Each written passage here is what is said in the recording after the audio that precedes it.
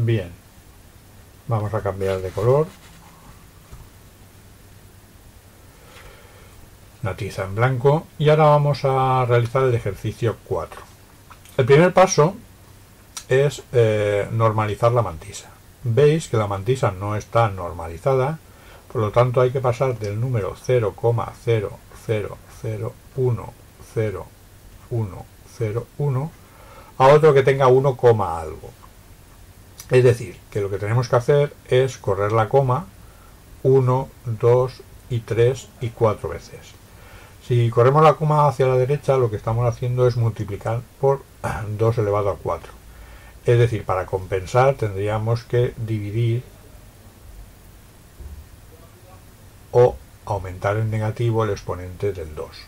Nos quedaría, por lo tanto, 0, perdón, 1,0101 por 2 elevado a menos 38 menos 4.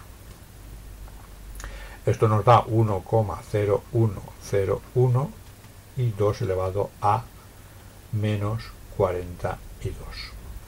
Recordar que hemos eh, corrido la coma cuatro veces hacia la derecha, por lo tanto hemos aumentado este número con respecto al que había aquí en 2 elevado a 4.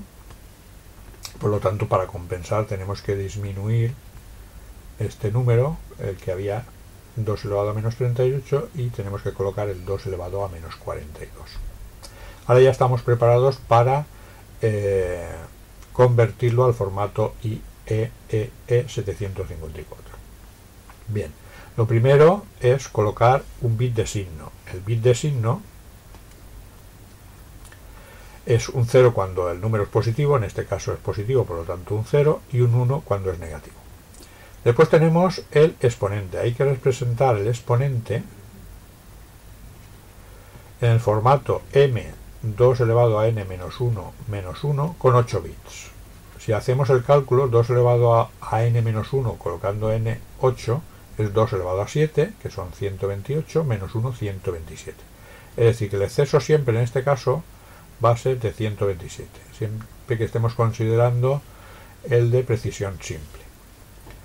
Bien, ¿cómo lo calculamos? Pues simplemente sumamos el exceso, menos 42 más 127, y tenemos que 127 le quitamos 42, tenemos 5, tenemos por aquí 8, eh, hay que representar el 85.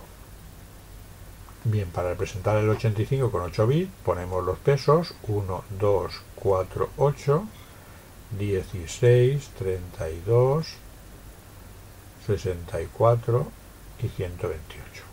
El 128 no hay que cogerlo.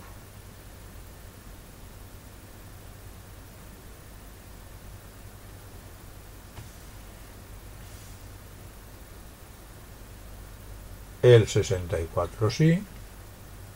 64 y ponerlo así. Vamos a poner un 1 y 2, nos queda 21 por representar, el 32 no hay que cogerlo, el 16 sí, y si hacemos la resta de 16 nos daría 5, que lo podemos representar como 4 más 1.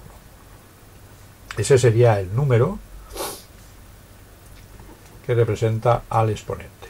Y después tenemos 23 bits, con la eh, mantisa. Este 1 se sobreentiende y por lo tanto solamente hay que presentar el 0101, que son 4 bits, y después ceros hasta acabar. Como hay 4 y tenemos que llegar a 23, hay que colocar la friolera de 19 ceros. 1, 2, 3, 4, 5, 6, 7, 8, 9, 10, 11, 12, 13, 14, 15, 16, 17, 18 y 19. O también poner 0, punto, punto, punto, 23 veces. En este caso, 23 veces no, 19 veces. Para llegar a los 23 bits. Bien, y con esto eh, está finalizado el ejercicio número 4.